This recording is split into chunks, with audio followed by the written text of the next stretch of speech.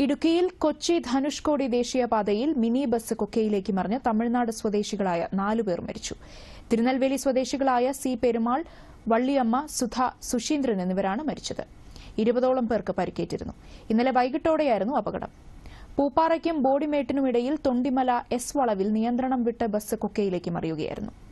മൂന്നാർ ലക്ഷ്മി എസ്റ്റേറ്റിലെ വിവാഹ ചടങ്ങിൽ പങ്കെടുത്ത് മടങ്ങുന്നവരാണ് അപകടത്തിൽപ്പെട്ടത്. പരിക്കേറ്റവരെ രാജാക്കാട് രാജകുമാരി എന്നിവിടങ്ങളിലെ ആശുപത്രിയിൽ പ്രവേശിപ്പിച്ചിരിക്കുകയാണ്.